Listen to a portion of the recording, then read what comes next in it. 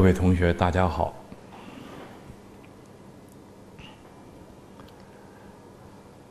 下面呢，我们就呃继续学习印光大师文钞精华录。我们呢还是呃在学文钞精华录的第一部分，赞净土超圣。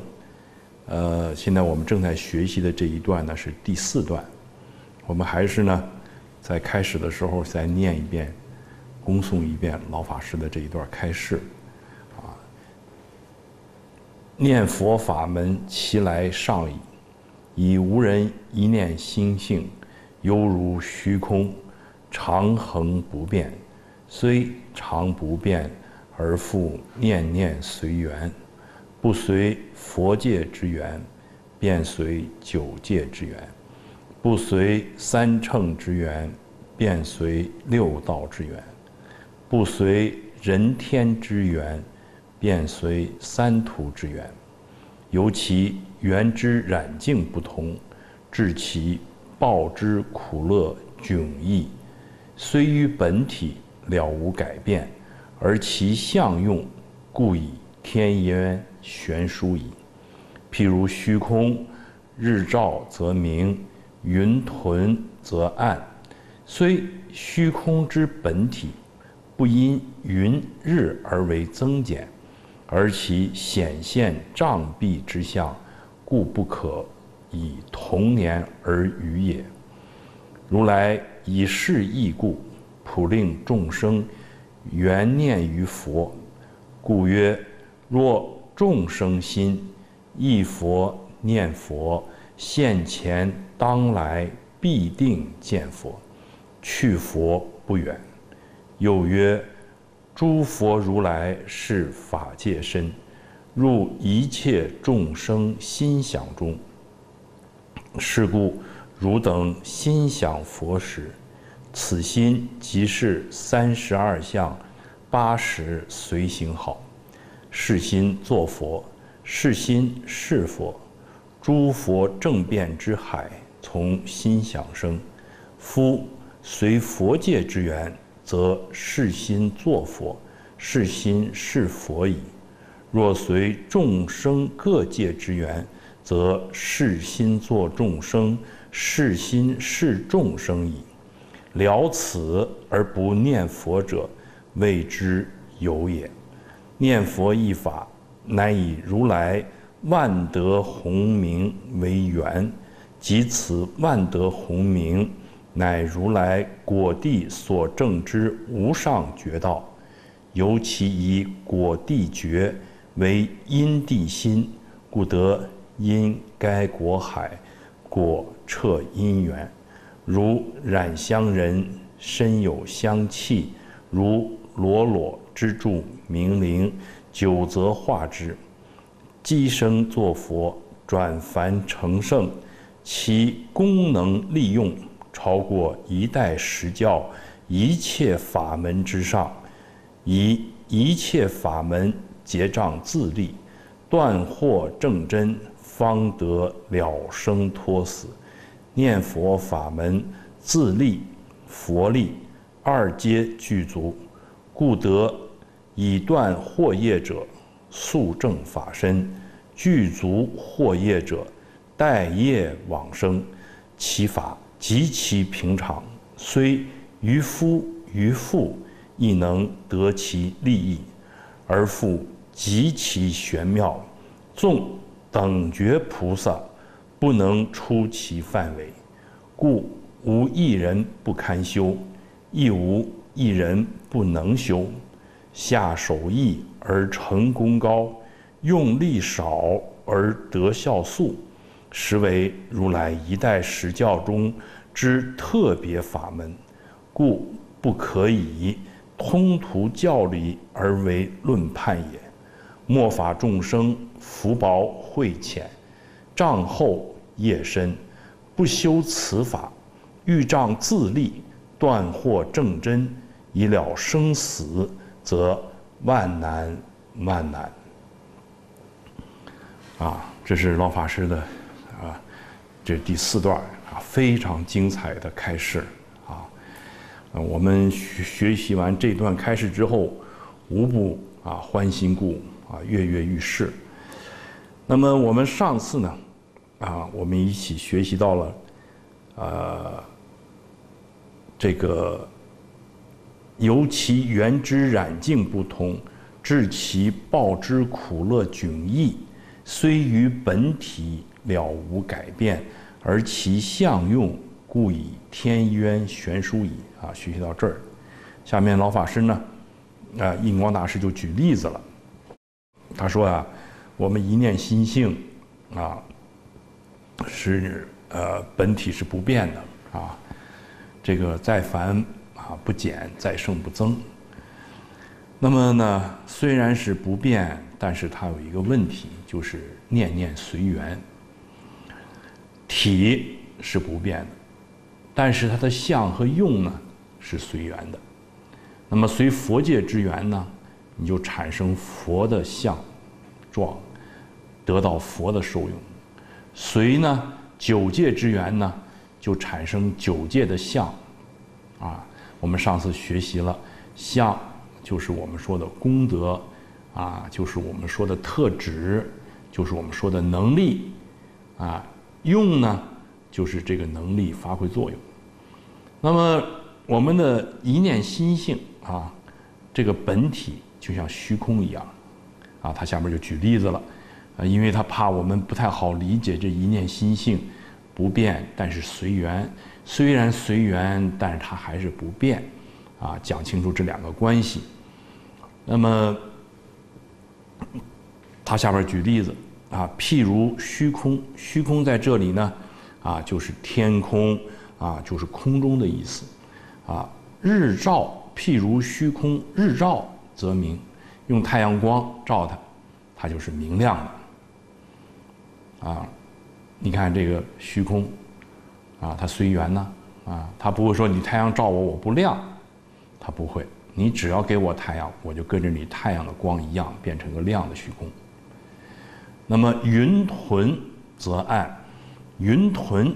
就是如云之聚集，啊，就像云聚集在一起，啊，形容甚多的意思，啊，云屯用云呢，啊，聚集在一起在空中，则暗，那么天空呢，啊，它就暗了，就暗淡无光了，所以你看这个虚空啊，随着有太阳它就亮起来，随着云再多它就变成暗的，对吧？那么，虽虚空之本体，啊，虽然天空的本体，啊，不因云日而为增减，呃，天空的这个本体，它不会因为呃太阳或者因为云而有任何的增和减，啊，你看它虽然随缘，但是它没有增减，它就是不变。不变的虚空呢，它不拒绝随缘。啊，你用太阳照我是亮的，你用云来囤囤积在我这儿，我就变成暗的，那我一定是随缘，啊，那么我虽然随缘，但是我天空的本体，啊是没有任何增减，没有任何变化，啊没有任何变化，那么谈到本体，啊谈到本体，这个就是。天，我们一般讲体，啊，就是它的性质，啊，不变为体，啊，那么不因云日而为增减，而其但是而就在这是但是，但是其就是天空，啊，而天空显现障蔽之相，显现，啊，就是显露出来，啊，天空显露出来，障蔽，障蔽就是。遮盖、遮蔽，啊，你看有太阳了，我们这个天空就显出现一个显现，啊，非常明亮，啊，呃，非常呃显现出来的这种状态。如果要是用云屯呢，那我们的天空呢就出现障蔽的样子，啊，很多东西障碍着天空，遮蔽着天空，啊，覆盖着天空，遮盖着天空，就这意思。那么，天空出现显现和障蔽这两个相，为什么呢？因为有太阳天空就出现显现之象，很明显的啊暴露出来了。那么如果用云啊囤积在天空当中，天空就给你一个障蔽之象，啊，那么这个显现障蔽之象，啊，这个差太大了，啊，一个是显现，一个是障蔽，啊，这个相差别太大，所以上下面说，故不可以同年而语也，故确实的意思。啊，是成说实在话，不可以同年而语。同年这两个字就是相等的意思，啊，不可以啊，确实不可以相等的说他们是相等的，这个相用啊啊差太多了。那么，呃，他就举这个例子啊，来和我们刚才前面讲这个理，以喻合理。用这个比喻来和前面的道理：天空比喻我们的一念心性，日照比喻我们的佛性，比如比如比喻我们的觉悟，云屯比喻我们的迷惑颠倒。啊，呃，那么，呃，是这么一个连带关系。但是呢，日照的时候，虽然天空的本体就是我们，我们虽然在呃成了佛以后。我们这个一念心性的本体，跟我们在迷惑颠倒成为九界众生的时候，这个心性本体没有任何差别。啊，但是啊，我们成佛和成众生，我们的相和用，啊，呃，差别是很大的啊，差别是很大的。佛的啊，佛的相用跟众生的相用差的很大，虽然差别很大。但是心体是不变的，不没有增没有减，啊，我们大家要明白这个道理，啊，那么那既然有些有些有些朋友说，既然心性没有改变啊，不增不减，那我那我就不用学佛了，我也不用觉悟了。但是后边这句话，相用啊，相用啊。故以天渊悬殊矣。嗯，成佛有成佛的相用，众生有众生的相用，而这种相用，就是它的相和它的利用，相状和利用差别是相当大的。啊，那么一念心性是不变的，但是它的相用啊，是差别是很大的。所以呢。我们要成佛，成佛以后呢，我们的相用，啊，我们的功德相，啊，我们周遍法界普度众生的利用，啊，那是得到了充分的发挥，啊，那么这个我们现在是众生的时候，佛的相用我们有没有呢？有，一点也没少，只不过是显现不出来而已。遮蔽住了，啊，掩藏住了，啊，所以我们叫如来藏。当我们成了佛以后，如来藏从烦恼当中出来，我们管如来藏呢，叫法身。那么法身跟如来藏是一桩事情，只不过是处在两种不同的状态，啊，就和冰和水，啊，是一桩事情，啊，都是一个实性。但是状态不一样，一个是结了冰，一个是结了是一个是水。水的时候我们叫做法身，冰的时候我们叫做如来藏。那么当是冰的时候，水的所有的相状跟利用全部隐覆起来，被障蔽住了。但是冰确确实实，虽然水的相状跟利用隐覆起来不能显现，但是一点都没有失去。当冰一化成水之后，水原具的，啊，它的相状、它的利用啊，就全部挥发出来了，全部显现出来了。所以我们希望我们恢复，啊，我们本来具备的相状跟利用，啊，而不停留在这个当众生的这种相状和利用上，因为这个确确实实是非常作践自己。啊，浪费了自己的这个一念心性本来所具备的啊无量功德相和无量无边的利用啊，所以我们要转迷为悟，转凡为圣，就是要适当一定要抓住时间，把这个冰变成这个水，啊，把这个冰变成水。虽然都是一个实性，就像天空一样，虽然都是一个天空，但是天空的显现和障蔽，啊，冰和水的这种相状和利用，啊，举这两个例子，那差的很多。那我们何去何从呢？我们是希望呃成为一个显现的明亮的天空呢？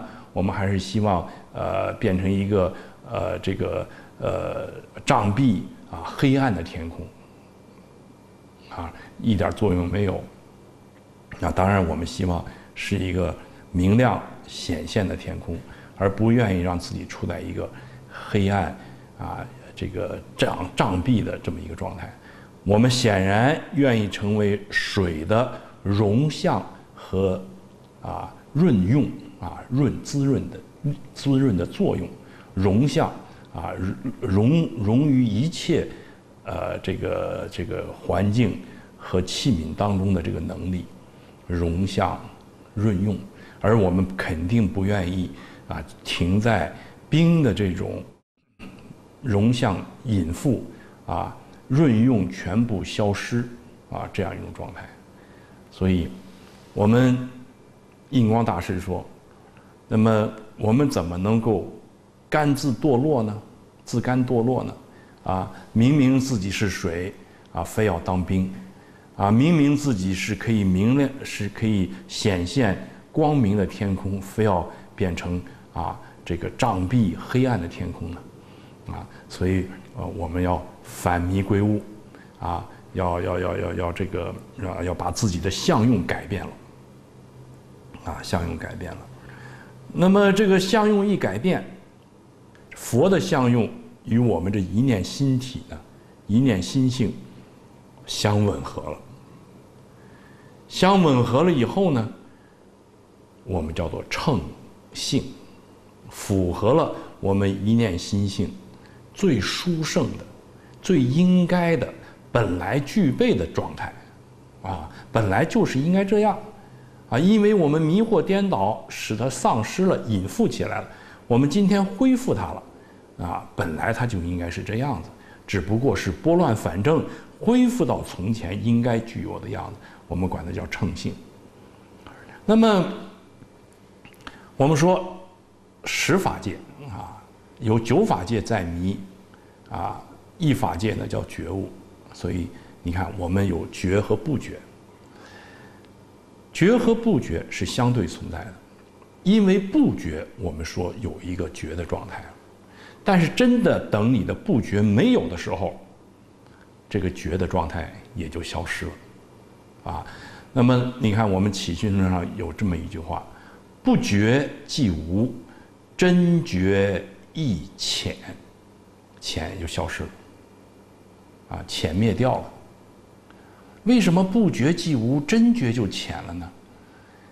啊，因为我们不觉是九法界，我们觉是佛法界。那么，当我们由不觉到觉的时候，啊，我们刚开始由不觉走向觉的这个阶段，我们叫做始觉，开始觉悟。那么我们这个始觉本来我们就具备，只是被障蔽住了，所以始觉跟本觉合一了。我们本来就有这个觉悟，啊，在本觉之外没有另外新的始觉产生，这个。我们因为是水变成了冰，现在这个冰又化成了水，没有新的水。现在这个水就是原来成冰的那个水，原来成冰的水叫本觉，现在由冰又化成了水，这个水跟原来的水无二无别，所以始觉跟本觉合一，无复本始之意，没有本和始的区别了，所以我们就叫做觉。这个觉叫做智，智慧，智慧正得了理。这个理就是我们的一念心性。当我们的智慧证得我们这一念心性这个理体之后，这个理和智又合合在一起，无复理智之分，理和智就不分了。如如智正得如如之后，如如跟如如智合而为一。这个时候，我们有如如智，我们说这叫佛。但是很可惜的是，这个如如智不能说很可惜，但是它的事实现象是，当如如智一旦证得如如之后，如如智跟如如就合在一起了，你就再也找不到如如智了，就不能再分哪个是如如，哪个是如如智。啊，所以。呃，所以不觉即无，真觉就浅了。真觉就是本觉，啊，就是始觉。为什么真觉一浅呢？我再重复一遍，真觉就是始觉，始本合在一起就是本觉。本觉呢，正得智一念心性这个离体之后，本觉又跟我们的离体合为一起，所以本觉跟理智跟理又合在一起，所以本觉也就不复存在。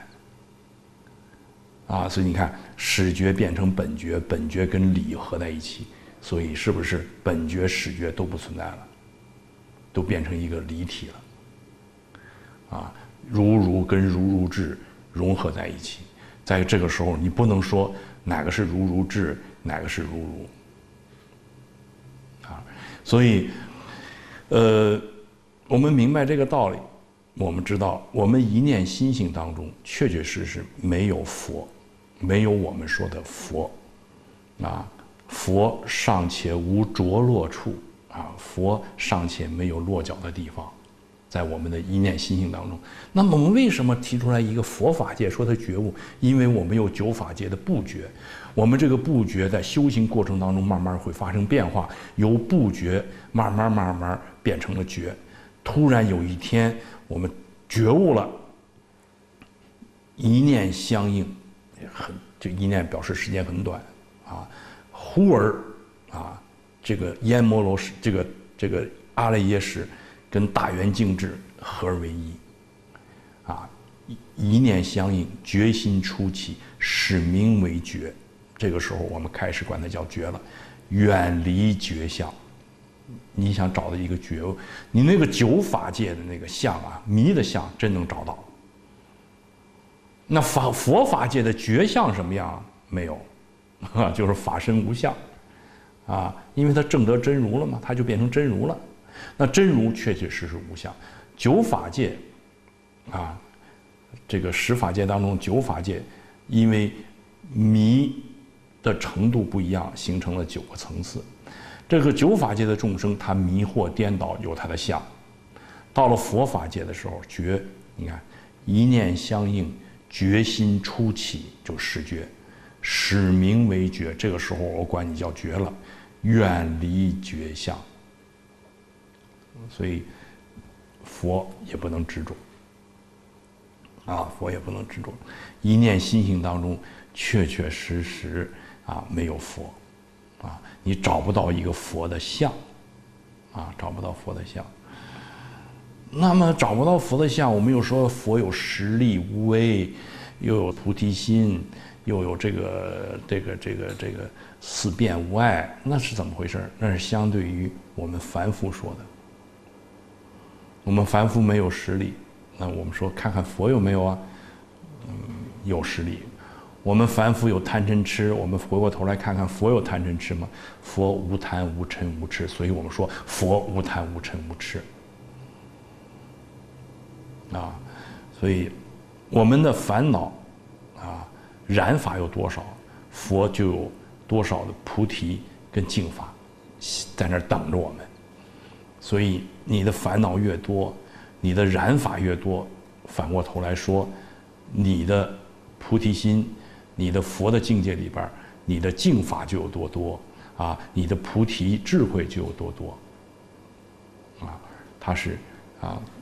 一切染法净法皆相待立，啊，都是相对存在的，啊，迷惑颠倒了，烦恼就菩提就变成烦恼，啊，涅盘就变成生死，觉悟了，生死就变成涅盘，烦恼就变成菩提，菩提就是我们说的如如智，涅盘就是我们说的如如，如如智跟如如合在一起，所以真如里边没有涅盘相。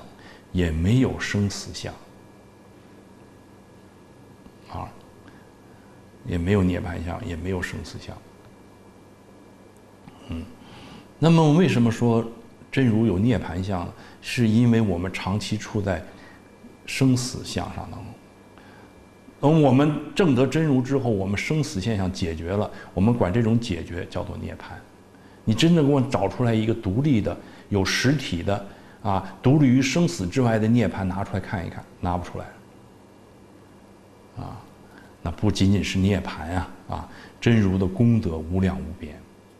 啊，因为我们这边是关注生死，所以我们考察真如的生死状态。哎呦，说它没有生死，给它个名词吧，叫做涅槃。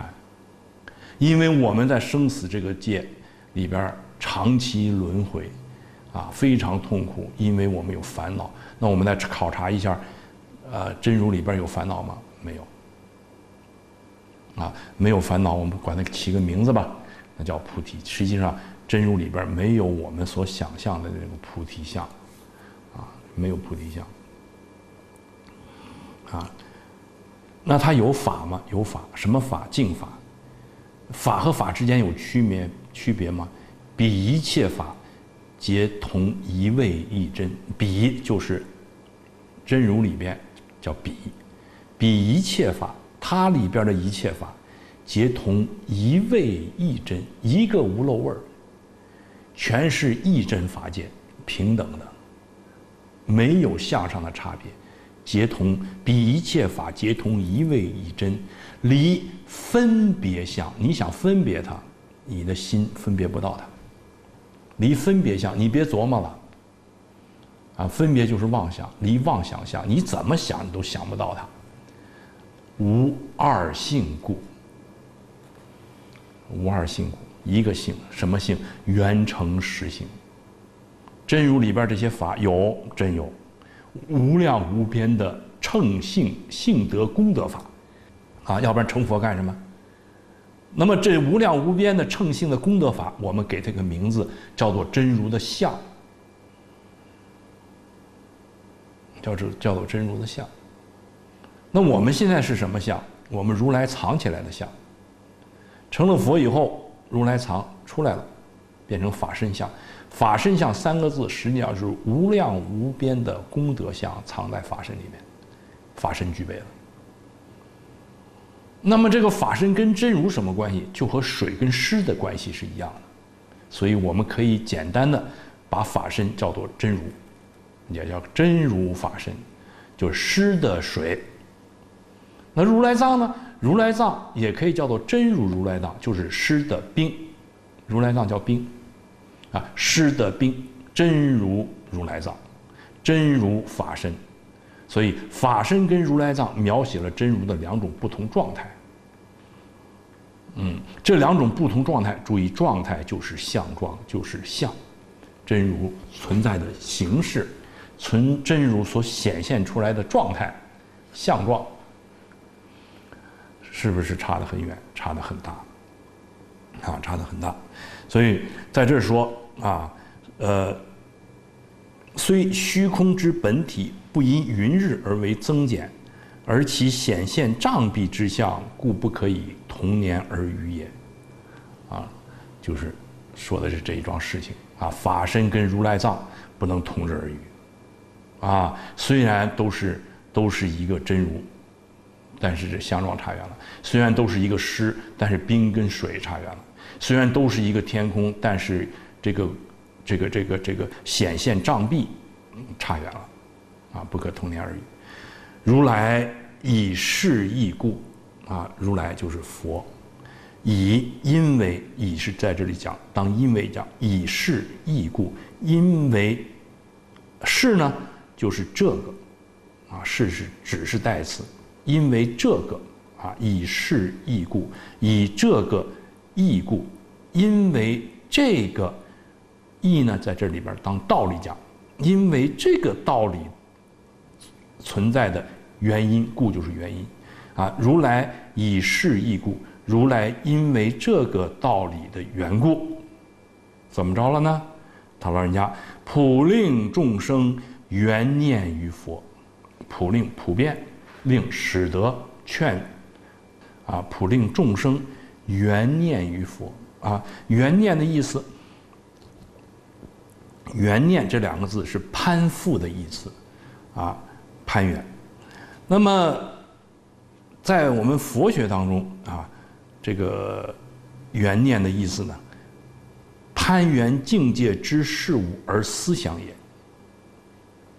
攀缘境界，佛是一种境界。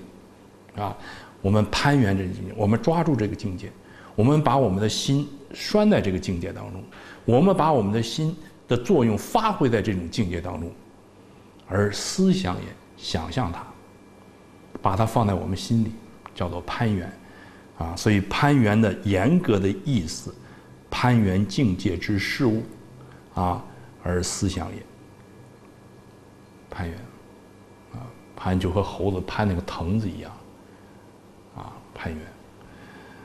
那么，如来因为这个道理，因为哪个道理呢？一念心性长恒不变，虽然不变，但是它随缘，就是因为这个原因。你看，啊，我们每一个人都有一念心性，太可惜了，就是因为这个缘分的不一样，导致我们的相、状跟利用差多了。佛无量无边的功德相，大慈大悲，四弘誓愿普度众生，这个利用。而我们今天，啊，烦恼祸业深重，障身福薄，啊，这个这个这个六道轮回苦不堪言，这种相状。如来看到这个情况，因为这个道理，告诉我们说。赶快在缘上改变，啊，缘念于佛，让你这一念心性随佛的缘，啊，便得到佛的相状跟利用，得到佛的境界跟佛的享用，佛的受用。我们前面学过，啊，所以因为这个原因，我们这一念心性它有随缘这个特性。佛就赶快跟我们说：“你好好念佛，你这一念心性，通过念佛就随了佛的缘，随了佛的缘之后呢，你就得到佛的相状跟利用，那大自在，啊，三个德嘛，啊，第一四德常乐我净得到了，第一、第二、第三还有三德三身法身、般若身、解脱身，啊，这个佛经当中描述的太殊胜了。”啊，很令我们向往，但是我们真的不知道怎么才能成为佛。那么如来因为这个原因，他证得这种境界，他明白这个道理，告诉我们：你们要得到佛的相状和利用，没别的，你有基础，你有一念心性，佛也是靠着一念心性，因为他的随缘性，佛给了他一个缘，佛的缘，就就成了佛了。那么我们今天也向如来学习。啊，接受他的教化，啊，也缘念于佛，也想象佛，也把自己的心，啊，随了佛界这个缘，得到佛的相应，啊，如来以是义故，普令众生缘念于佛，啊，因为是以是义故，因为这个道理的原因，我们在这就要对这个义明白哈，我们这一念心性随缘，啊，随缘，就是因为这个道理。所以咱们要念佛，念佛你就随了佛界之缘，随了佛界之缘，你就得到佛的，啊，得到佛的功德，得到受到同佛境界，同佛受用，入佛境界同佛受用。你看印光大师前面，啊，开示当中曾经说过，啊，就这么道理那么简单，啊，净土法门的理论依据就在这儿，啊，那么他说了，那么。啊，所以如来以是义故，普令众生缘念于佛，啊，故曰，所以他老人家说，若众生心忆佛念佛，现前当来必定见佛，啊，所以呢，因为这个道理，他普遍的让众生们啊想念佛，啊想象佛，攀缘佛，啊啊缘念于佛。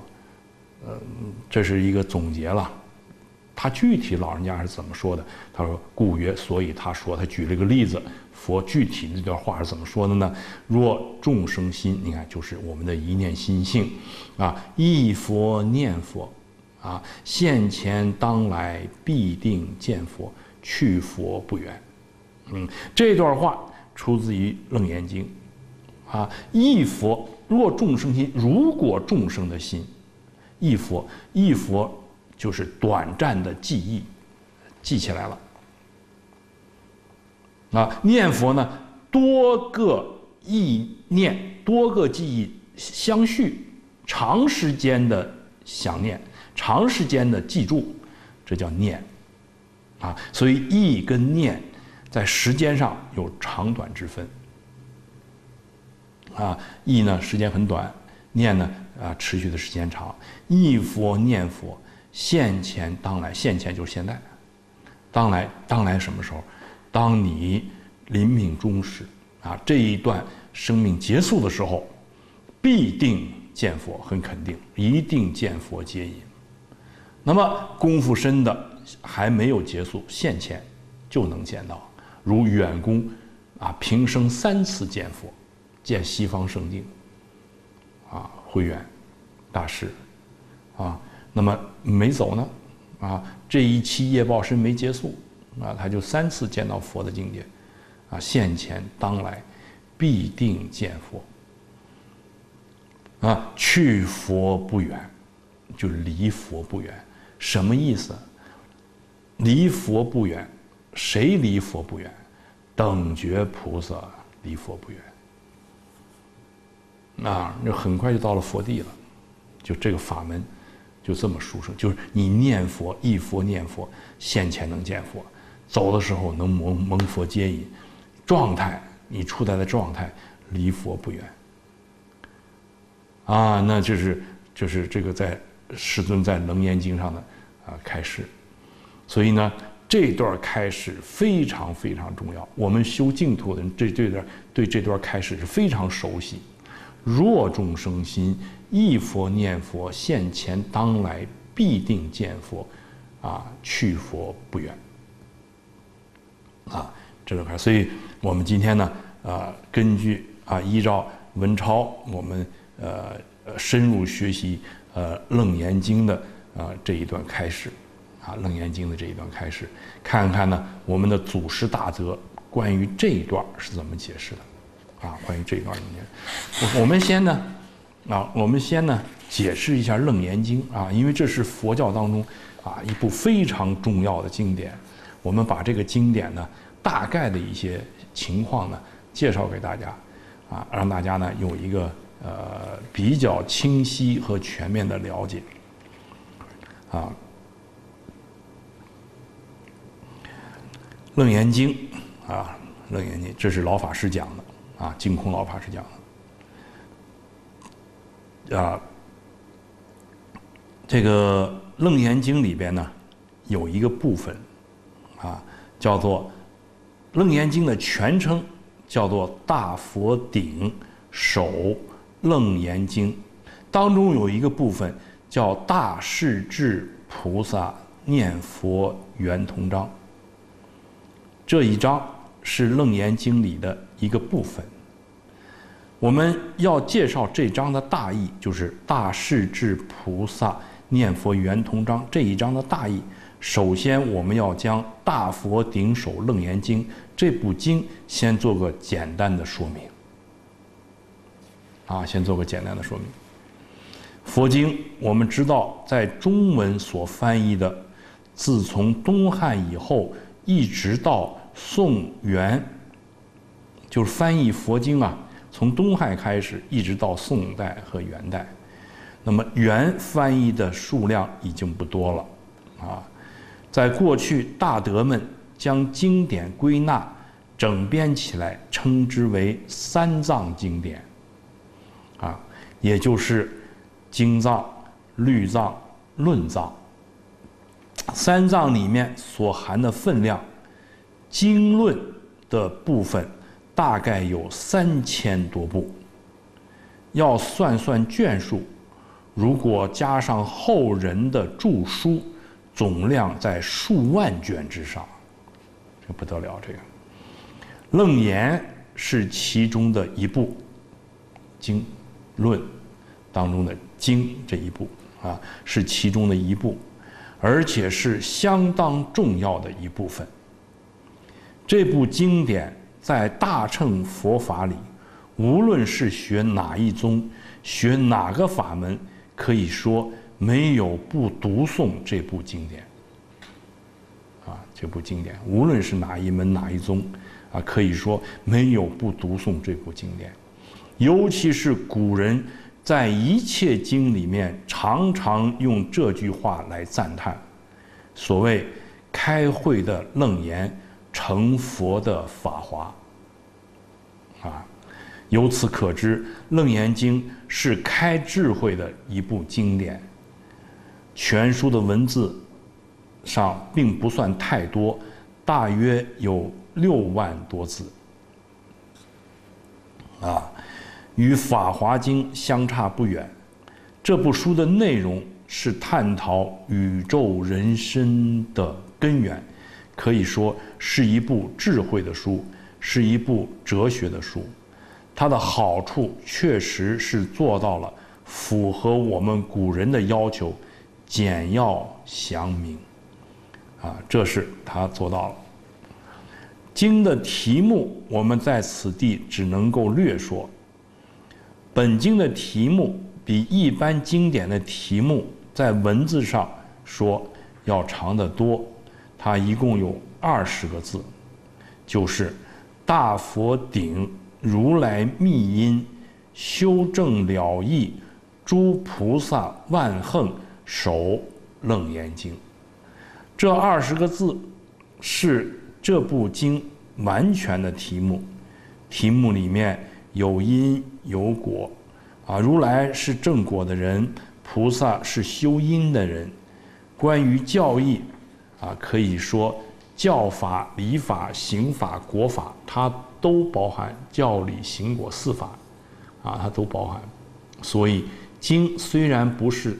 虽然是不大，在义理上来说，已经将如来一代的教义全都含摄在其中。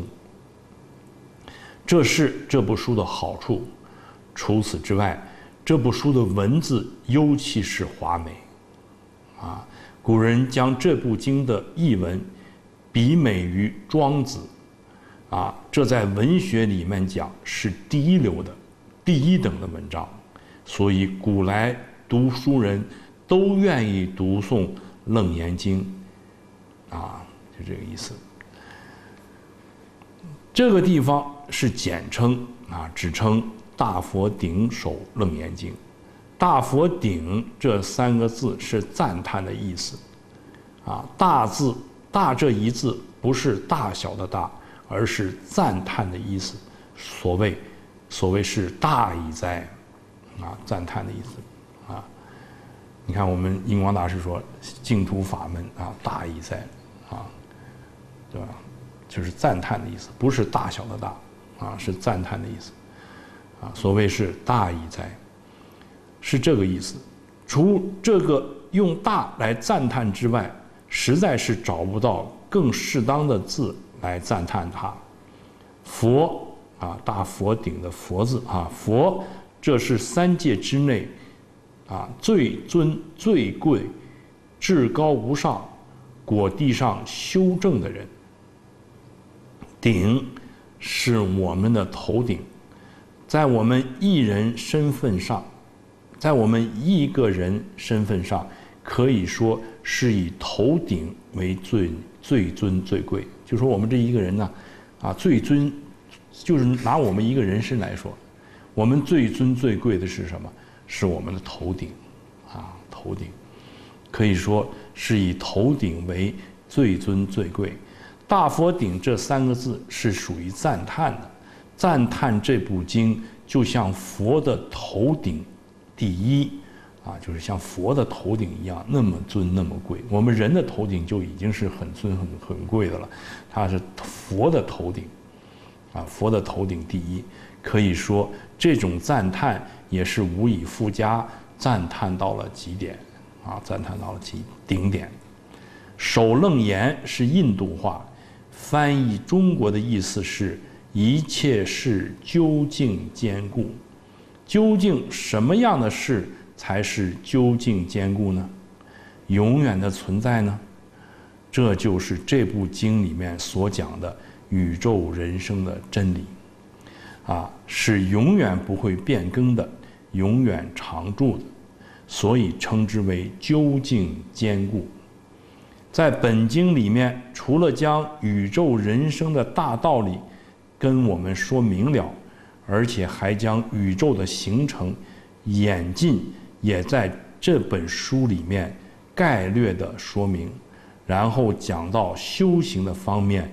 所谓修行，我们拿一句粗浅的话来说，如同后人所讲的“天人合一，人神合一”，这些境界都是一切人所向往的、所追求的。可是。我们不能，我们能不能做到呢？并不是不能做到，要紧的是它的理论方法，我们必须要彻底的了解，然后如理如法的去修学，这个境界不是不可以达到的。讲到修学，啊，讲到修学，在本经里面有二十五位菩萨给我们作为一个修正的榜样。啊，这就是著名的二十五圆通章。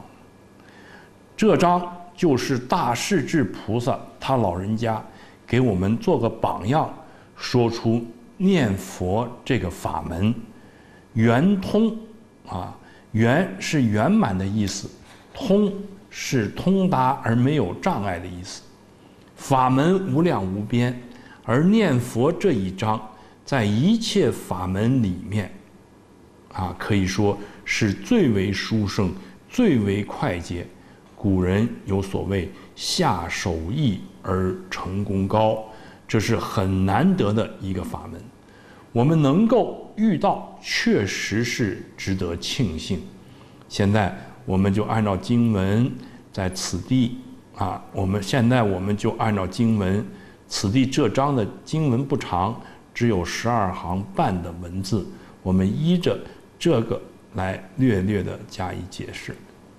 啊，这是呃我们净空法师他老人家讲啊，呃《楞严经》大势至菩萨啊念佛圆通章的时候，刚开始讲的这么一段介绍《楞严经》的啊这么一段重要开示，啊，使我们对《楞严经》以及呢二十五圆通。啊，有个大概的了解。那么我们今天学到这儿啊，故啊，呃，若众生心忆佛念佛，现前当来必定见佛，去佛不远，就出在这个啊大势至菩萨念佛圆通章里面。那么，呃，我们再看看印光大师啊怎么评价这个大势至菩萨念佛圆通章的。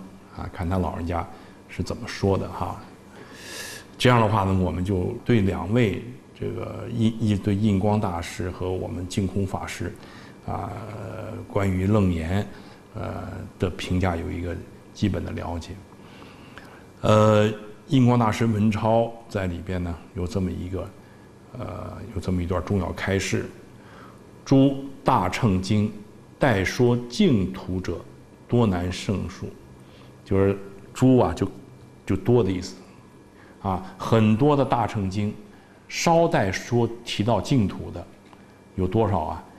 多难胜数啊，数不过来。很多经典都稍带啊，都带说，都顺便啊，都都谈到过净土，啊，多难胜数。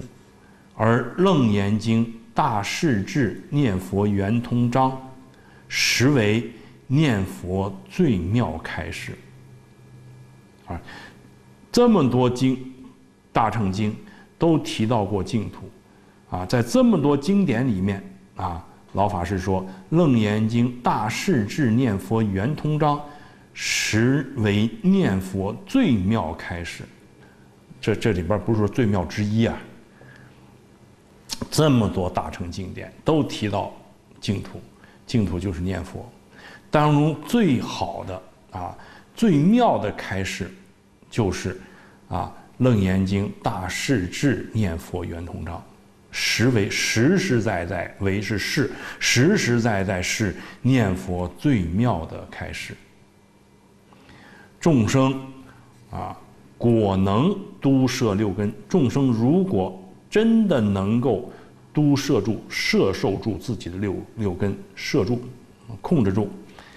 净念相继以念，都摄六根，净念相继来念的话，啊，这八个字是这个大势至菩萨念佛圆通章里的字，啊，如众生果然能够做到都摄六根，净念相继这八个字来念佛，岂有不现前当来必定见佛？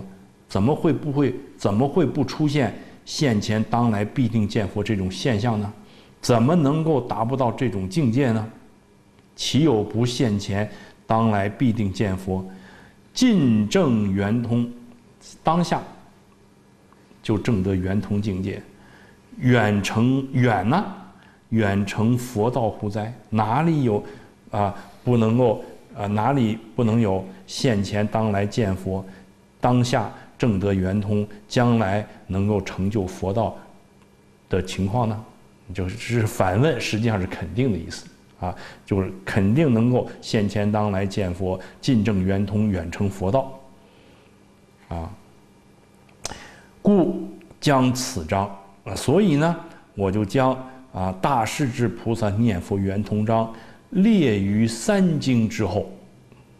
这个不得了了，这是净空，这是印光大师首次将啊。大势至菩萨念佛圆通章列于我们净土的三经之后，行为第四经，啊，无量寿经、观无量寿经、佛说阿弥陀经这三经，那么是他老人家把大势至菩萨念佛圆通章列于三经之后，啊，而以普贤行愿品垫之，在这把它列于三经之后，成为净土的第四经，而净土的第五经。是，而以普贤行愿品垫之，把普贤行愿品放在大势至菩萨念佛圆通章的后边垫，垫是后边的意思，啊，已成净土法门之一大缘起，啊，这样我们就形成净土法门的一个系列完整的啊经典基础，啊，令诸乐者啊知此一法。大畅佛怀，脚比仗自立，断惑正真，以了生死者，其难易悉斥天渊玄殊，啊，令众多的读者们知道这一法是大畅佛怀啊，佛的心怀里边所要给我们讲的这个法啊，在这五经当中酣畅淋漓、毫无遮掩的讲出来了，啊，那么这个法门啊。脚比啊，跟那些仗自力、靠自己的力量断惑正真，以达到了生死出三界的这种状态啊，那么其难以难和容易相比啊，我们净土法门跟其他法门这种难易，什么东西难易啊？干什么东西难易？啊，断惑正真，以了生死这件事儿，哪个难？用这两个法门，一个是净土法门，一个是其他法门。用这两两类法门，两个法门来解决这个断惑正真、了生脱死这件事情，哪个难，哪个容易？啊，西赤天渊悬殊，哪里仅仅是天跟深水深渊的这么大？这种差别已经很大，那比这个差别不知道还要大多少？啊？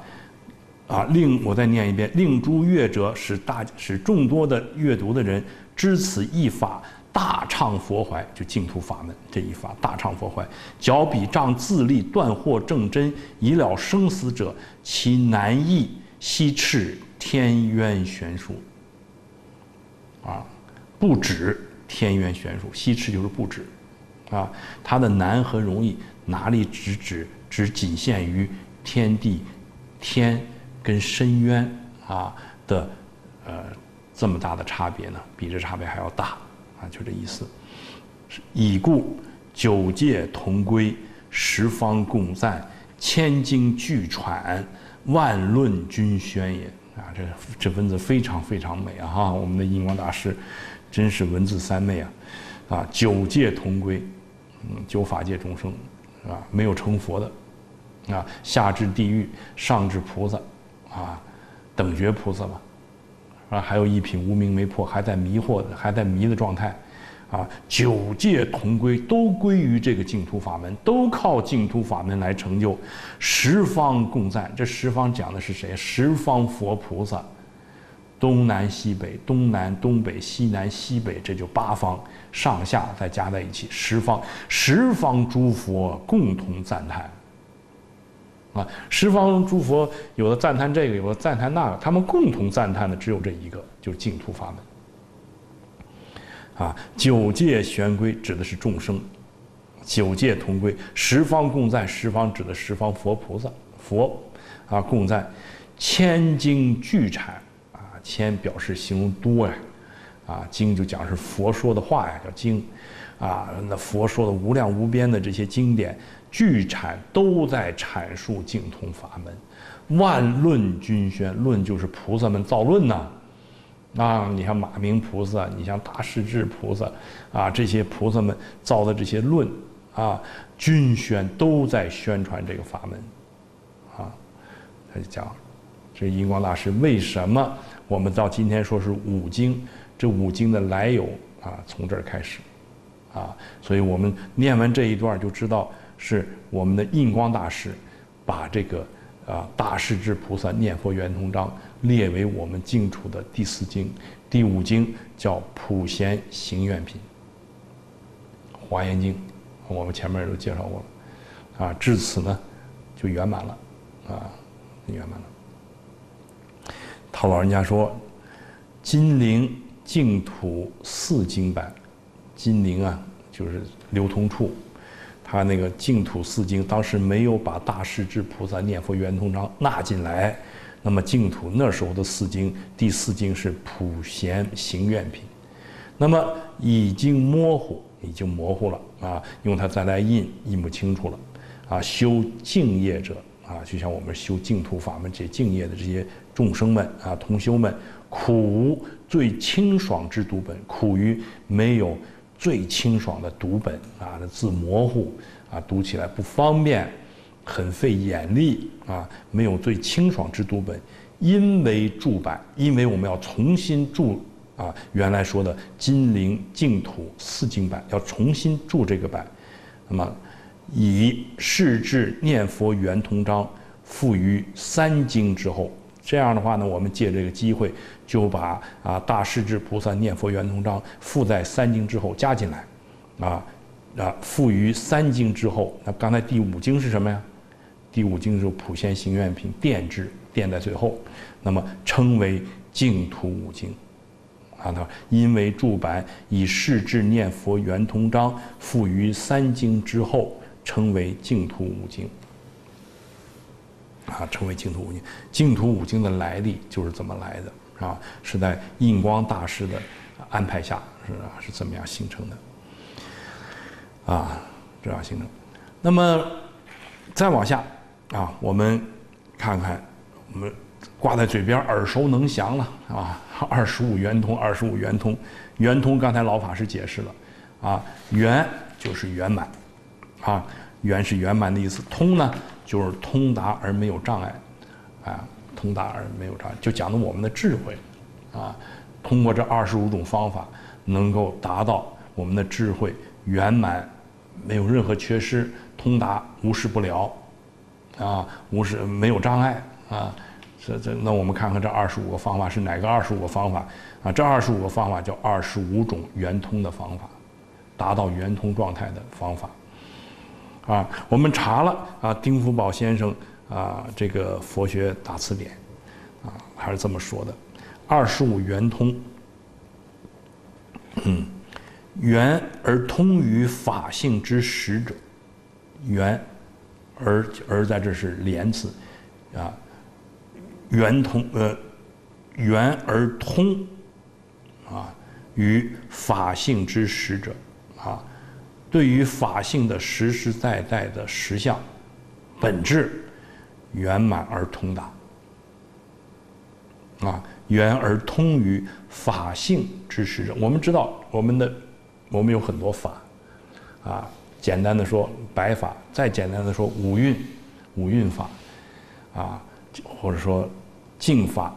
染法啊，所有这些法，它的实，这个法的性，性就是不改之意，不变之意，就是这个法的法体，它的实实在在的东西是什么东西？是什么东西成为法的本质？是什么东西成为法的本体？是什么东西创造了这些法，成就了这些法？而这个东西又是不变的，啊，古来就有的。是独立存在的法性，叫法性，而圆满通达于这个法性实实在在的真理，叫做圆通，啊，圆通，啊，所以圆而通于法性之实者，啊，说的非常好，非常简练，啊，谓之圆通。我们管这种能力，我们管这种境界叫做圆通，啊，众生之机。众生之机缘万差，众生啊接受佛法的机缘能力啊跟机会啊啊万差啊万是形容词，就差别太大了啊！欲得圆通，须依种种之法。要想得到圆满而通达于法性之实者这种状态啊，须依种种之法，需要依靠各种各样的方法。啊，佛于楞严会上对菩萨声闻问：本合法而得圆通？那佛在楞严会上，就是我们说的这部经啊，《楞严经》啊，在楞严会上啊，对菩萨声闻这些啊声闻声闻和菩萨们，他就问啊，问本合法而得圆通？你们根据什么法而得到圆通了呢？其实佛是带我们问啊。问这些菩萨们，问这些声闻缘觉们，你们是根据什么呀，最后得到圆通啊？哪个方法呀？啊，菩萨声闻各举自得之法答之。菩萨跟声闻每个人都举出自己得到圆通的这个法来回答。你是通过什么方法得到圆通？我是什么通过什么方法得到圆通？我给他举出来说出来，啊，告诉佛，然后呢，我是。用什么方法来证得圆通的？那么有二十五种。有啊，换句话说，二十五位菩萨声闻，啊，呃，讲了他们得到圆通的方法。二十五种，哪二十五种呢？即六尘、六根、六识、七大也。三六一十八再加七，二十五。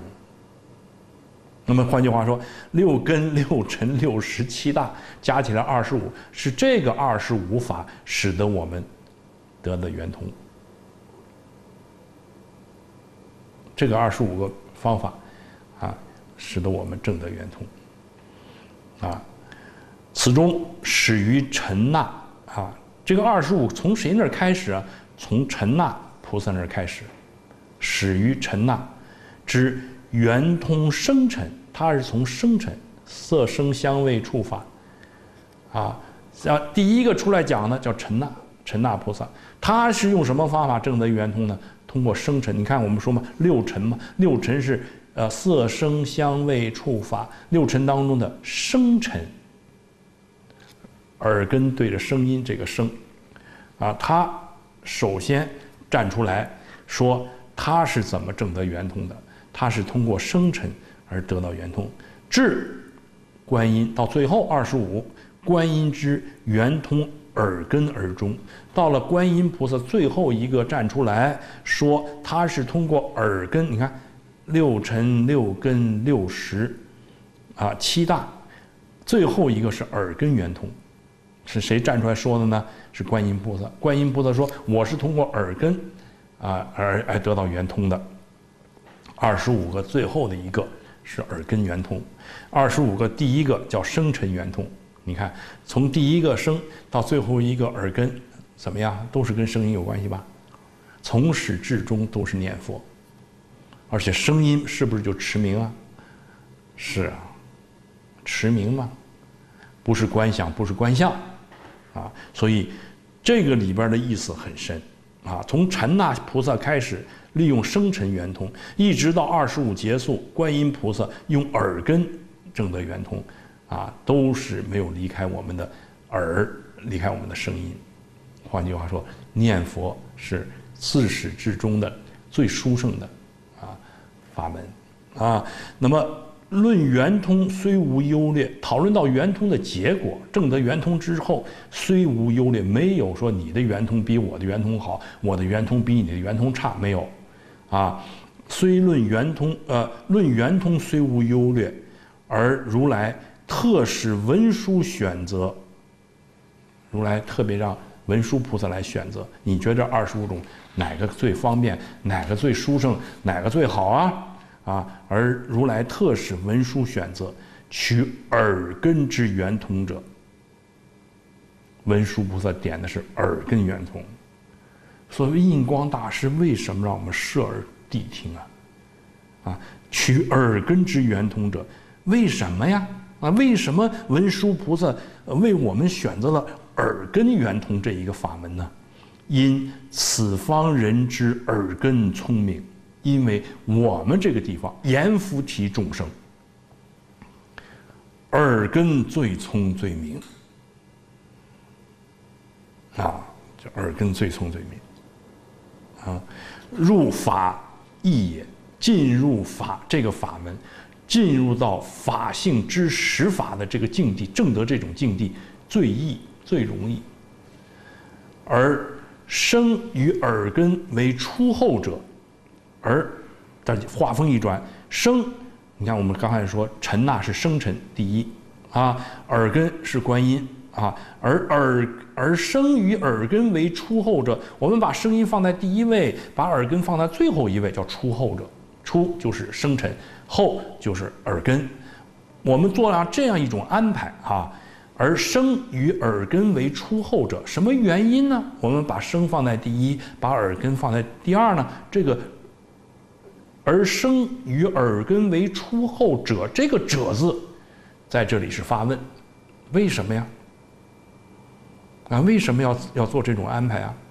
这要回答问题了，是首尾相贯之意。它的意思在于要把开头首跟结束尾相贯。贯通起来，一致起来，一声一音声，尘那之圆通，即生尘也。啊，那么他就解释了，这种安排是非是表法，啊，它的意思很深，啊，贯通首尾贯穿相贯之意，啊，念佛法门，二十五个圆通当中，第一生辰，最后耳耳根，就说。二十五个圆通当中的最殊胜的，就是念佛，啊，就是念佛，啊，他就下面他就分别讲了二十五，啊，我们在这儿啊，大简单的给大家介绍一下，一音声，二十五圆通的第一个叫音声，尘那之圆通即生辰也，尘那菩萨靠着这个生辰证得圆通，啊，即生辰也。二色音啊。优波尼沙陀比丘之圆通，即色尘也。啊，三香音啊，味道香音，香言童子之圆通，即香尘也。四味音味道，舌头长的味道。啊，药王药上二法子等之圆通，即味尘也。五触音啊，身体接触。啊。跋陀婆罗之圆通，即触尘也；六法音、摩诃迦摄等之圆通，即法尘也。这就六尘了。七见缘啊，六尘啊，六根。现在我们就可以该讨论根了啊。六尘六根，六根当中第一个眼根，它叫七见缘，阿那。律陀之圆通即眼根也，啊，八息空啊，周立盘陀伽之圆通，即鼻根也。九未知啊，乔梵波提之圆通，即舌根也。啊，十深觉毗陵迦婆搓之圆通，即身根也。十一法空须菩提之圆通，即意根也。啊，这就。啊，十二心见啊，舍利佛之圆通，即眼识也。啊，十三心闻普贤菩萨之圆通，即耳识也。要讲讲到六十了。啊，十四鼻息孙陀罗难陀之圆通，即鼻识也。十五法音弗罗那之圆通，即舌识也。十六身界优婆离之圆通，即身识也。啊，十七心达木干连之圆通，即意识也。十八火性地水火风空见识，啊，进入到七大了。啊，十八火性啊乌促闭魔之圆通，即火大也。啊，七大了哈。十九地性持地菩萨之圆通，即地大也。二十水性月光童子之圆通，即水大也。二十一风性琉璃光子王子之圆通，即风大也。二十二空性虚空藏菩萨之圆通，即空大也。就虚空藏菩萨是通过空来证得圆通的。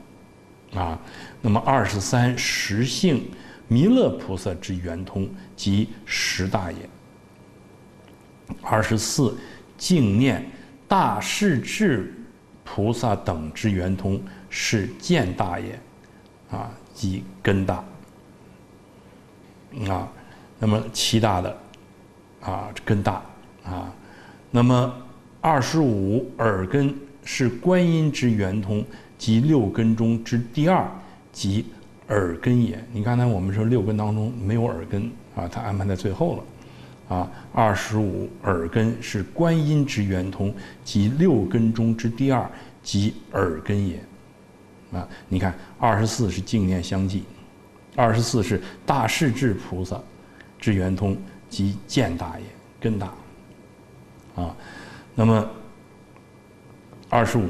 是观音菩萨之圆通，六根中之第二，啊，眼耳啊之第二，耳根也啊，他就做了这么一个安排，啊，这是二十五圆通。那么圆通呢，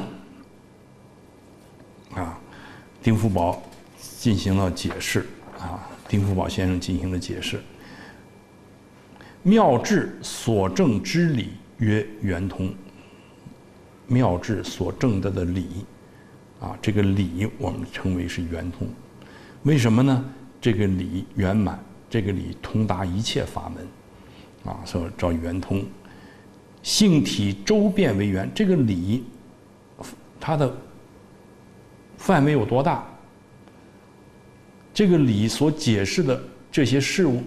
这些事物所产生的这个理，啊，这个理，我们妙智所证的这个理，它能管辖的范围有多大？性体周遍为圆，啊，尽虚空遍法界就是这一个理，啊，性体周遍为圆，叫圆。妙用无碍为通，这个理能产生万法，啊。能够产生善因善果，事出世间，妙用无碍为通。啊，那么是讲的这个理，我们如如智正德的这个如如理，这个理呢，性体周遍为圆，妙用无碍为通。那么又它下边还有一个圆通，圆通还有一个意思呢，又以觉会周遍通解，啊，又以。啊，觉会周遍通解通入法性，谓为圆通。我们有如如智，我们有这个智慧啊，我们这个智慧能够周遍通解，周遍就完全的了解，一点都没有遗漏，通通的啊，彻底的啊了解，能够通入法性，我们的智慧，我们管这种智慧也叫圆通。实际上，圆通说两桩事情，一个是如如，一个是如如智，啊。此前意就所证离体是之，这呢前面这个意思就是你所证明的这个离体，称之为圆通；后意就能证行门是之，后边这个圆通呢，就我们能证这个智的，能证这个理的智来解释，啊，嗯，就来来解释，是这个意思啊，是这个圆通。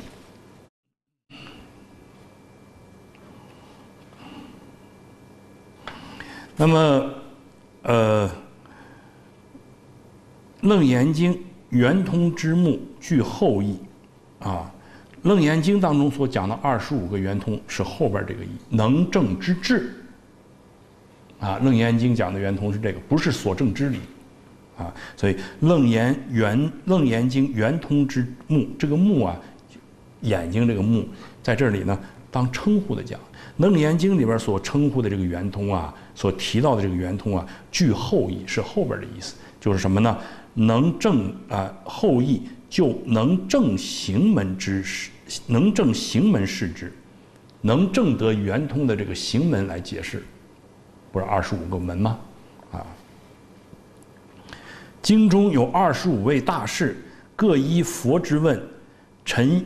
圆通之法门，为音声为圆通之门，乃至耳根为圆通之门也，啊，陈圆通之法门，为从音声啊的为圆通之门，乃至耳根为圆通之门也。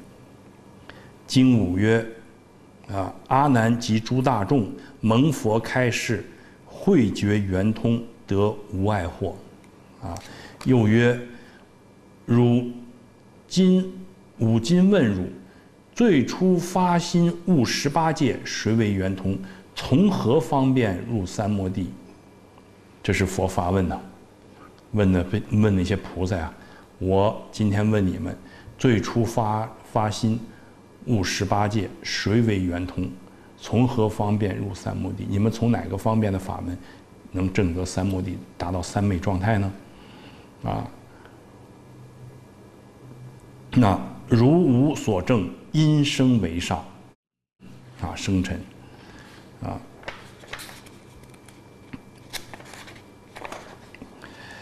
那么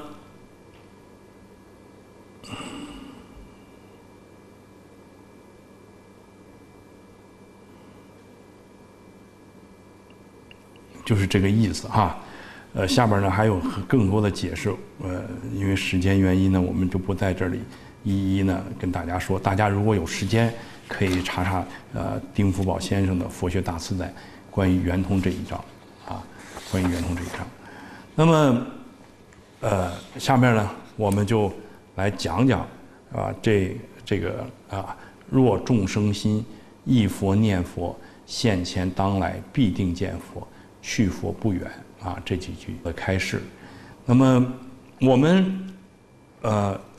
要解释这几句佛经上的这个开示呢，我们依据的呢是啊这个慈云灌顶法师，啊他的呢呃他老人清代的哈，他老人家呢呃做了一个书抄，这个书抄呢叫《念佛圆通章》书抄啊，讲的就是大势至菩萨念佛圆通章，啊他把这十二行半就刚才净空法师讲的这个大势至菩萨念佛圆通章啊。进行了书，进行了抄这个工作。那么，这个在这个大势至菩萨念佛圆通章当中呢，有这么一段开始，叫“若众生心忆佛念佛，先前当来必定见佛，去佛不远”。我们把书抄当中关于这一段的开示给它挑出来。啊，我们的净空法师呢，曾经对这个书抄进行过讲解。我们把净空法师关于慈云灌顶啊，大势至菩萨念佛圆通章书抄啊，所进行的讲解拿出来。这样的话呢，啊，我们看看慈云灌顶法师是怎么解释啊？若众生心意忆佛念佛，现前当来必定见佛，去佛不远。同时，我们看看净空法师是怎么解释慈云灌顶的这个书抄的啊？这样呢就圆满了啊，这就圆满了。你们慈云灌顶呢？呃，这个呃，这个这个法师呢，关于这个大势至菩萨念佛圆通章的这个书抄呢，确确实实读起来不那么容易啊，这个明了，因为它理比较深，再加上又是文言文啊，而且呢，它语言呃非常非常简练啊，非常这个用字非常的精确，我们今天读起来呢，有一定的难度。那我们我们的净空法师上人呢，师傅上人呢，把这一段把这个慈云灌顶啊，这个这个这个书抄啊啊讲解了。讲解了以后呢，我们呃把这个讲稿拿到了，我们把中间这一段就谈到若众生心忆佛念佛，现前当来必定见佛，啊，我们把这段挑出来，给大家一块儿学习啊。这样的话呢，呃，就是一个非常圆满的安排啊。首先呢。我们介绍一下这个《念佛圆通章》书抄的作者啊，就是我们的啊所谓的呃叫做这个慈云灌顶啊法师。这个人呢是赫赫有名了啊，我们非常呃非常的这个这个名字是非常熟悉啊。那么他的名字呢实际上是续法啊，续就是继续的续，法呢就是法脉的法。那么他老人家呢？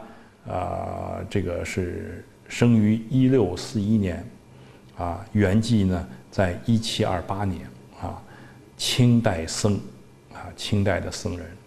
那么浙江仁和，啊，仁和就是今天的杭州，啊，浙江仁和人，俗姓沈，啊，字伯庭，号灌顶，又名成法，他还有一个名字叫成法。九岁从学于杭州。天竺寺慈云寺名媛，十九岁受具足戒，二十岁习讲经，二十岁开始讲经，历时七年，啊，历时七年。那么，呃，后明元副主，明元，你看我们说他九岁到杭州天竺山慈云寺名媛，从学，名媛是他的老师，啊，他九岁在杭州天竺寺。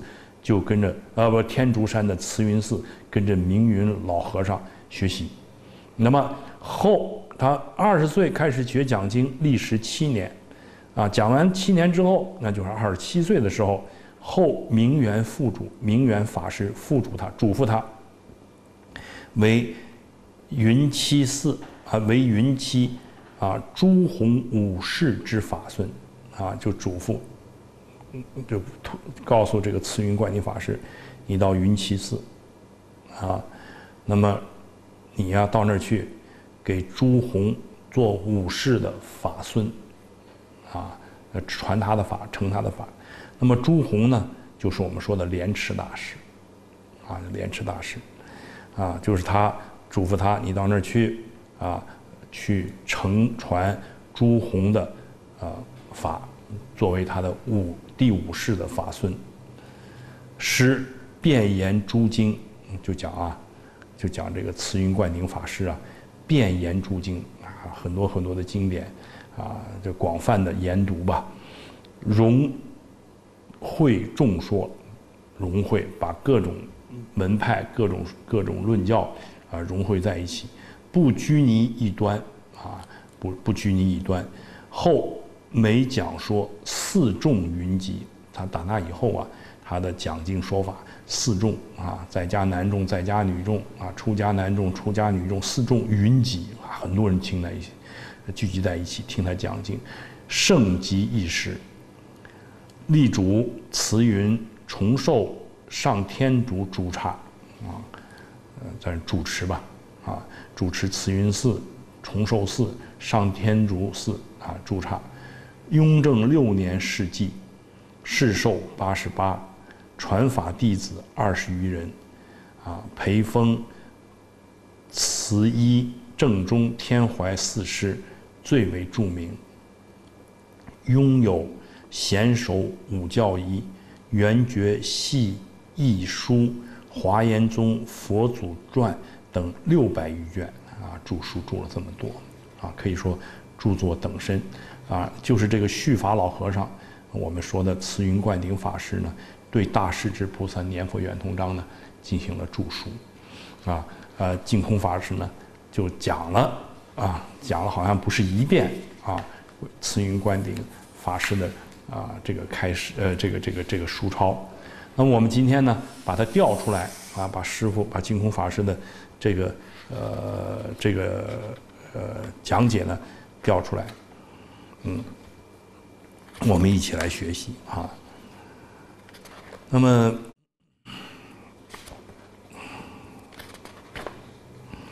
那么，净空老法师是这么说的哈，我们一边一边一边攻读呢，一边讨论，一边学习哈，一边学习。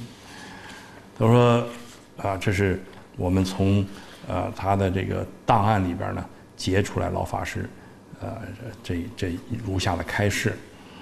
那么，若众生心忆佛念佛，现前当来必定见佛。此第四句与底下三句经文是这一章经里面的精华，最重要的啊，就是这四句话跟下面的三句话是这一章经文里面最精华哪一章啊？大势至菩萨念佛圆通章，啊，是这一章里边最重要的精华，啊，下边三句是什么呢？去佛不远，不假方便，自得心开，这七句。啊！若众生心忆佛念佛，现前当来必定见佛。去佛不远，不假方便，自得心开。啊，就这七句。这一章精华的开示就是这七句，文字很少，可以说把净土教通通包括进了。我们看书抄，就刚才讲的慈云灌顶的这个法师的书抄。我们看书抄，书抄这段很长，就书抄在讲这七句的时候用了很大的篇幅。那书抄这段很长，为什么？这是它最重要的一部分。前面是比喻，这是容易懂的，启发你，啊，正是来教导你了。这个念佛，它讲的是心，啊，这个念佛，它讲的是心。心念要紧，若众生心，啊，你注意看哈，注意听，老板，这个念佛他讲的是心，心念重要。众，那么这是下边这段话，就是慈云灌顶的书抄里的话，众生心者，简口念而心不念也。他说为什么慈云灌顶在这说众生若众生心忆佛念佛现前当来？他为什么要专门提出这个心？老帕解释，啊，那么就是说，呃，这个念佛他讲的是心，心念要紧啊。众生心者，简口念而心不念也。他就区分嘴里念而心没有念这种这两种情况，那就没有用了。换句话说，你口念而心不念。那就没有用了。口念是口念带动着心念，所以古人教给我们念佛，这个佛号从心升起来，啊，从心升起来，从口里念出来，再从耳朵里听进去，这样就能摄心，心就不打妄想了。所以念佛要紧的是。要把我们一切杂念、妄想给念掉，啊，这才叫功夫得力。一念一面念佛，一面在打妄想，那是没有用处的。我们心里想佛，口里没有念，那个行一样，着重在心念。换句话说，慈云灌顶法师讲若众生心，那在这开门见山，先讲了众生心，就讲了心念重要。啊，如果口里没有念，心里我们心里在念佛，行不行呢？老法师说行，一样的，啊，着重在心念。好了，那么老法师继续往下说，啊，慈云灌顶就其实说了：“众生心者，简口念而心不念也。”这句话完了以后，慈云灌顶法师说：“意啊，不是忆佛念佛吗？他解释这个字：意，记持不忘也。记住，保持不忘，叫意。啊，净空老法师解释：啊，念念不忘，因此经要熟，经不熟，你没办法想佛的境界。”意呀，就是念念不忘，因此经要熟，经不熟，你没有办法，你没办法想佛的境界。譬如说佛的相好，经上讲佛有三十二相，八十种好。如果你要不知道，你怎么想法？你想不出来。西方极乐世界种种医正庄严，如果你要是不清楚，你也想不起来。所以经一定要熟。这就是为什么天天要念经，道理就在此地。经，呃，念久了，经典很熟。西方极乐世界，无论从哪个角度去看，我们都清清楚楚、明明白白，才能做到一持不忘，随时随地我们都想。譬如我们看到一个房子，我们就想到极乐世界佛所住的宫殿。啊，极乐世界一般人就是那些菩萨们，他们啊，啊，他们啊所住的房子，我们就会联想到，我们看到地啊，就晓得极乐世界地是琉璃之地，通通是琉璃的，啊，看到路，人家那个路是黄金铺的路，我们这个路柏油铺的，就觉得不错了。西方极乐世界铺马路的是用黄金，你看人家那个地方物资多么的富足，黄金太多了，没有用，用来铺马路。宫殿建筑材料是七宝的，我们这里一点点这些珍珠玛瑙都宝贵的不得了，人家那里是建筑材料，啊，你就晓得那个地方的富足。所以经不熟就没有办法想象。经熟了之后，我们的六根接触六尘境界，都会想到西方极乐世界，这就是一持不忘，啊，说的非常非常好，啊，这个意呢，啊，慈云观音法说，记持不忘也，一一念就是印光大师说呀，啊，这个我们这个呃这个呃忆佛念佛啊，啊。呃，也是呃无时瞻望啊，一一分钟都不能忘掉佛号，啊，这个净空法师说，嘴里不念，心里念行不行？行，啊，那么呃，这个印印光法师呢，也是这个意思，啊，不是说非要嘴里念才叫念佛，啊，如啊如这个呃如孝子思双亲，啊就行了，啊无时瞻望。啊，并不是说，呃，老跟着出声的念叫念佛，关键是心里得有，啊，心念，心念说若众生心忆佛念佛，而不是若众生嘴啊忆佛念佛，啊，你看这个忆啊有竖心旁，啊念呢底下也有个心字，讲的都是心上的事儿，啊，这个心实际上说白了就是我们眼耳鼻舌身意的意根，啊。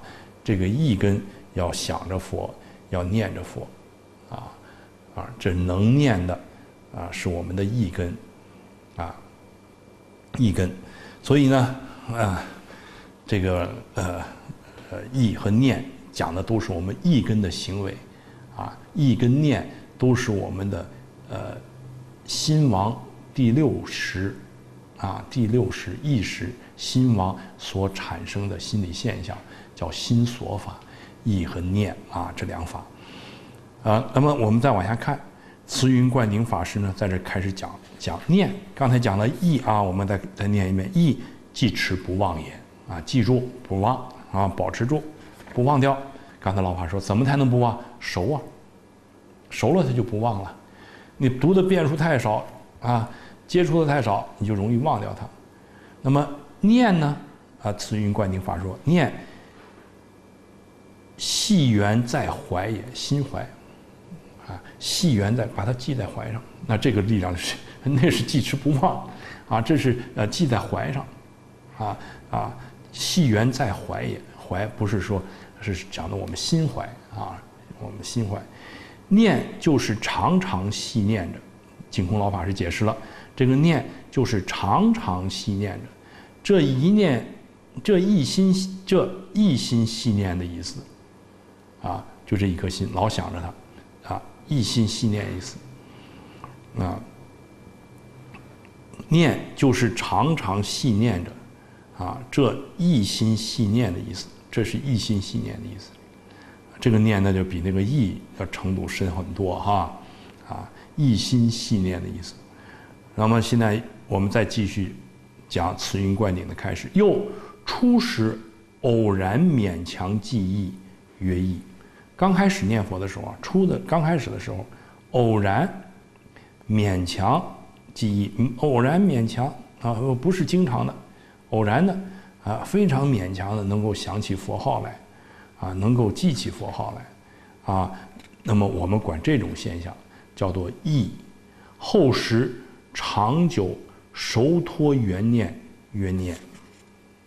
啊，熟托元念叫念，那么以后时间一长了，啊，这个熟托元念，熟托就是熟练，应用，就这意思，啊，熟练，啊，就是掌握，啊，叫熟托，缘念呢就是想念，我们管这种现象叫做念。那你看这个念和意，哈，慈云灌顶法师啊讲得很清楚，初时偶然勉强记忆曰意。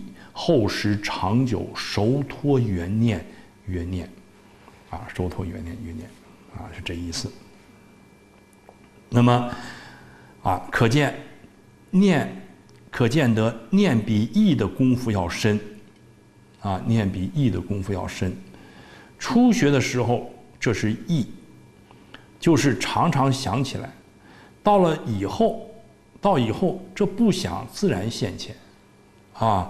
这个叫念，啊，自然现前就是收托缘念，啊，那我们我们念佛的时候，你看有些时候我们去打个佛七啊，有些时候我们帮人助念二十四小时啊，确确实实啊，等我们离开这个道场或我们离开人家家的时候，啊，帮着人家呃送往生送完了以后，我们出来，我们好像觉得耳朵里头还是心里头还是在佛号不断，啊，这就叫做收托缘念，这个功夫要深。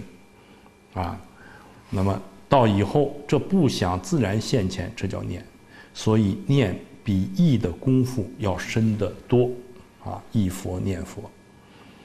那么下面又是慈云观顶的开示，又，呃，再说再来啊，忆是暂念，一忆之谓，念是数忆常念之谓，啊。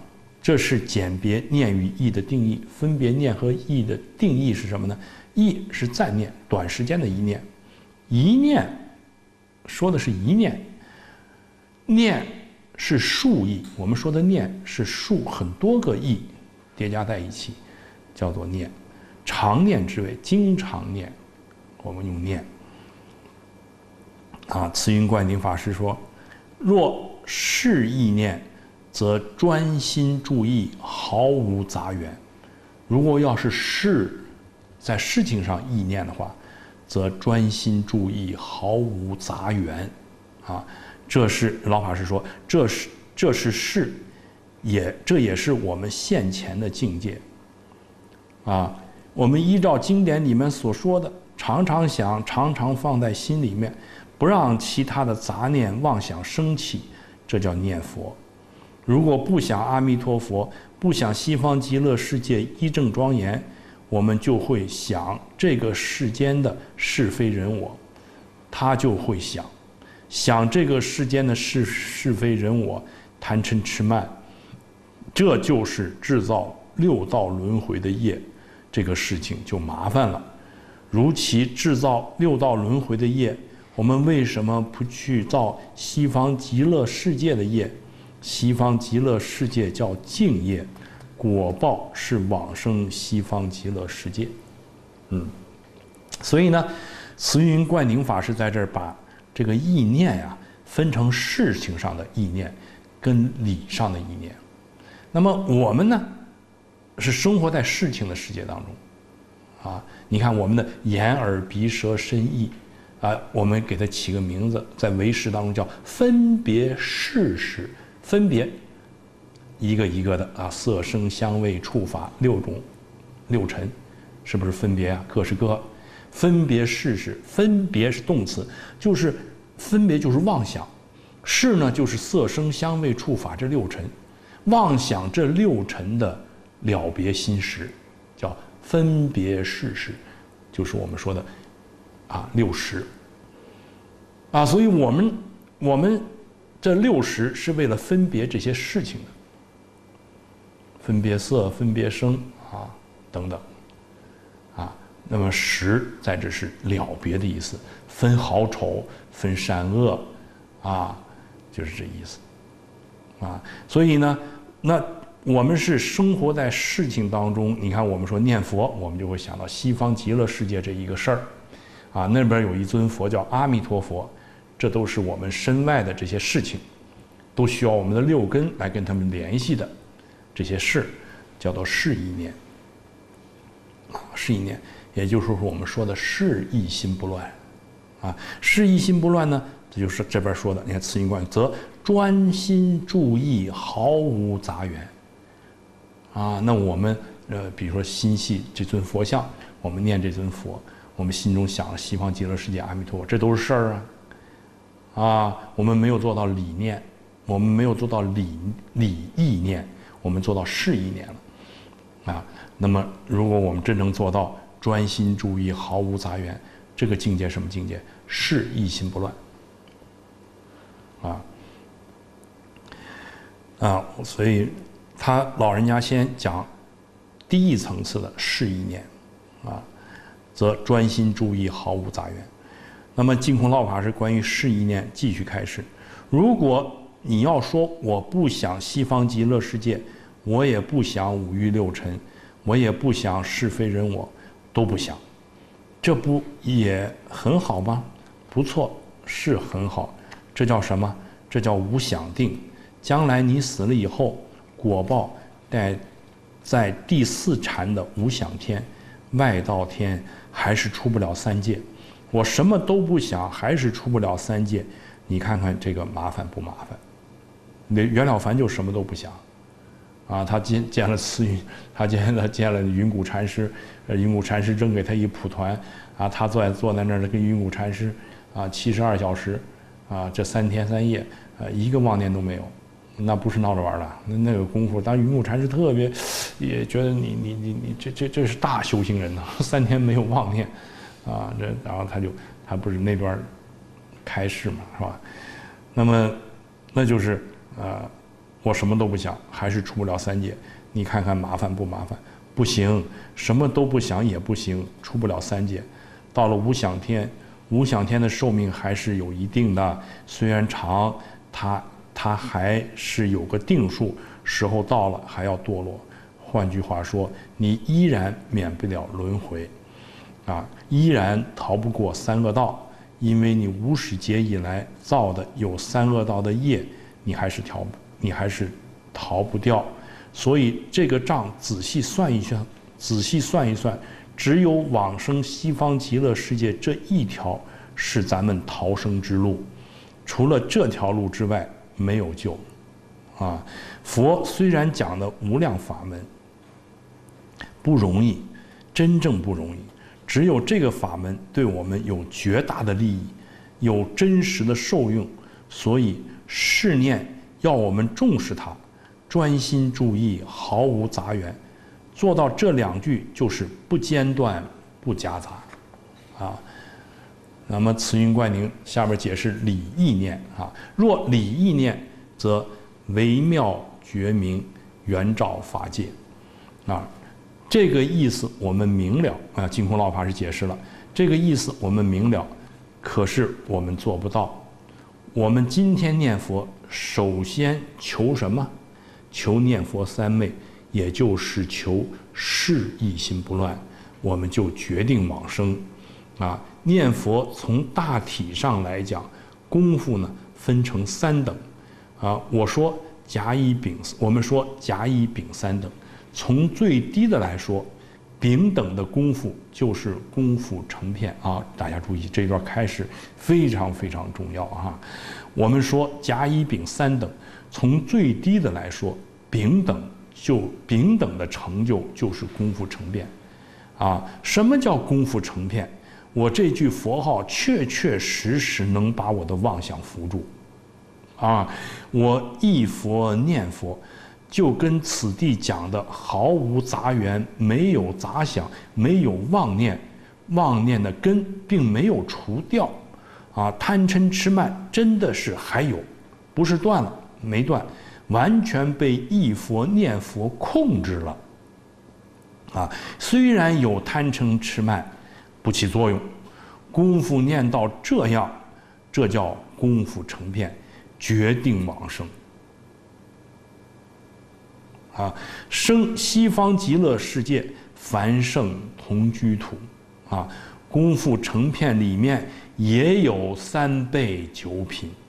我们看到很多念佛的人，啊，前面跟诸位讲，临终预知时至，站着走的。坐着走走的，他的功夫念到什么程度？老实跟诸位说，就是功夫成片，不是一心不乱。啊，讲到功夫成片，我们都可以做得到。啊，讲到一心不乱，我们就不一定都能做得到了。啊，啊，这就是功夫成片里面的九品，上三品往生就那么自在。啊，这就是功夫成片里面有九品，上三品的往生就那么自在，不仅仅说你想坐着走、站着走，啊，竖个蜻蜓倒着走，打个倒立倒着走，啊，爱怎么走就怎么走。你看功夫成片里面有三倍九品，有九品，上三品怎么走？不仅仅说你想坐着走、站着走。数个蜻蜓倒着走，啊，爱怎么走就怎么走。再给诸位说，想什么时候走就什么时候走，他生死自在。大家注意哈，功夫成片的三上三品，想怎么走就怎么走，说什么时候走就什么时候走。我们人人都能，我看我们都可以做得到。讲到功夫成片，我们都可以做得到。这老法师给我们受记了。啊，我们真要是按照这个呃大势至菩萨念佛圆通章来做，那我们这个想走的方式我们定，走的时间我们定，啊，而且人人都能做到，不需要断烦恼，只要扶住就行，啊，这叫功夫成片，嗯，啊，我愿意，咱老法师接着说，我愿意在这个世间再住个十年二十年，不碍事儿，愿意现在走，马上就走，他就这么自在。这样的功夫程度还是功夫成片，啊，就这个功夫我们都能做到啊，啊，这是很很鼓舞我们哈，啊，这样的功夫程度还是功夫成片，上三品的功夫成片就这么自在，生死自在，中三品，那你就选择坐着站着都很有可能，下三品下三品的功夫成片往生多半是有病。啊！但走的时候一定清清楚楚、明明白白，大家一定要记住哈。我们只能做到功夫成片，功夫成片又分成三类：上三品、中三品和下三品。上三品啊，走的方式自己选择，走的时间自己定；中三品呢，啊，你就得选择到底是坐着还是站着，你不能随意了，啊。那么下三品呢？一般就实现成有病了，啊，就是有，但是呢，有病不怕啊，清清楚楚、明明白白，这是基本的条件。啊，走的时候迷惑颠倒，这是很大的危险，这个不可靠，助念都不可靠，啊，所以这个事情自己要办，不要等着。说我跟别人多结几个好缘，我走的时候你替我助念，啊，你替我助念，到时候来了朋友替你助念，替你助念了，可是你自己一塌糊涂，迷惑颠倒，助念也枉然，啊，还是帮不上忙，啊，所以我们把这种侥幸的心理要打掉。就走的时候靠别人助念，这种侥幸的心理要打掉。有没有助念没关系，最好是能够念到生死自在，这是功夫成片里面的上乘功夫，啊，想什么时候走就什么时候走，这真正得自在。人家做得到，我们也能做到。那这老法师对我们，哈，非常鼓舞我们哈。我觉得。呃，我我们一定不能辜负老法师啊！这这三十年前啊，对我们提出的这个希望啊，三十年后我们在攻读老法师的开示，依然感觉的那么样的受鼓舞啊，那么样的温暖，是吧？那么他举个例子啊，台中李炳南老居士就是我们净空老法师的老师啊。台中李炳南老居士，他在七十多岁的时候。他的功夫就到了这个程度，啊，他那时候在中兴新村大会堂讲经，啊，是省政府的一些官员请他到那里弘法，就讲《佛学概要》十四讲，在中兴大学大会堂里讲，他就公开向大家宣布，他喜欢什么时候走就什么时候走。再多住几年也不碍事。我们几个同学听到他老人家这样宣布，回过头来一商量，我们不能让他走，让他多住几年。他自己说的，他有本事，喜欢住几年就住几年。大家回来一商量，我们来祈请《华严经》，请他老人讲《华严》，请他老人家讲《华严经》，《华严经》不讲完。他总不好意思走，啊，这才把他留了这么多年。那时候我们八个人请他讲华严，我是其中一个。他原来也说过了，大概在五六年前讲经的时候讲过，他把华严、把华严经讲圆满，最后再讲一部弥陀经，他才往生。所以。台中的同修跑到台北来问我，他说：“老师大概还要住世多久？”我把他那部经的进度算了一算，我说：“老师至少要活到一百三十岁，他那部经才能讲得完。”没想到，没有想到，三年前他突然改变了主意，他向大家说：“我讲经再讲两年就不讲了。”他说。这个世界乱了，嘱咐学生，唯一的生路就是求生净土。世界乱了，不想再住。那边同修也来问我，老师说这话是什么意思？我就告诉他，我说老师说，说明两年之后他往生，他住世就是讲经，他不讲经，他住在这个世间干什么？